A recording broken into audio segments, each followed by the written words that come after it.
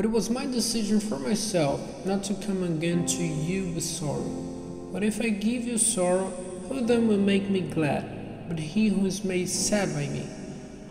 And I said this very thing in my letter, for fear that when I came I might have sorrow from those from whom it was right for me to have joy, being certain of this, that my joy is the joy of you all.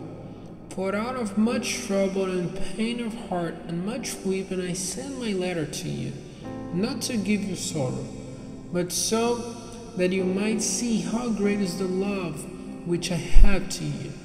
But if anyone has been a cause of sorrow, he has been so, not to me only, but in some measure to all of you. I say this that I may not be over hard on you.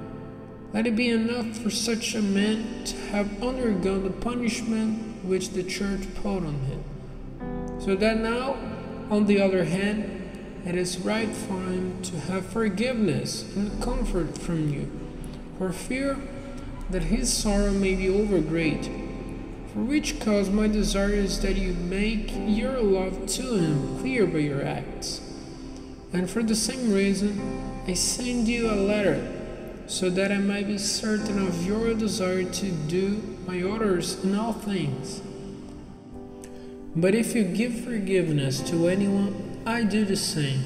For if I have given forgiveness for anything, I have done it because of you in the person of Christ, so that Satan may not get the better of us, for we are not without knowledge of his designs. Now, when I came to Troas for the good news of Christ, and there was an open door for me in the Lord, I had no rest in my spirit, because Titus my brother was not there. So I went away from them and came into Macedonia.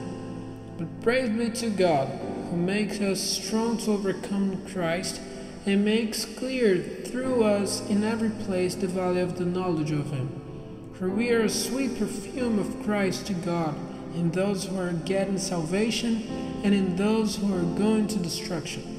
To the one, it is a perfume of death to death, to the other, a perfume of life to life. And who is enough for such things? For we are not like the great number who make use of the word of God for profit, but our words are true, as from God, being said as before God in Christ.